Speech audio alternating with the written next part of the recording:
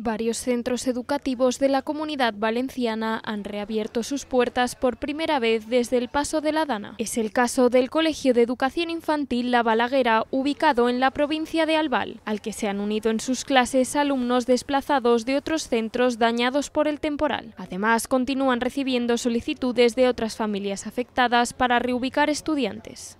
Porque hemos acogido un colegio entero, el Colegio San Blas, entonces el claustro San Blas iban trayendo lo que han podido rescatar de su colegio, como las bandejas para comer, el poco material y demás.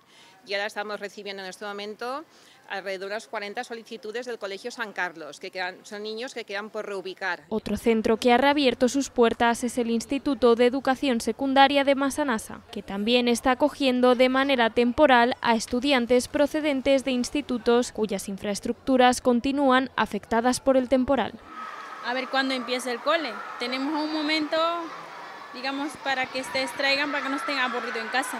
Según dice, de aquí una semana, no lo sé. Se irán a la ciudad porque el pueblo, el colegio de mi hijo está destruido, no hay nada.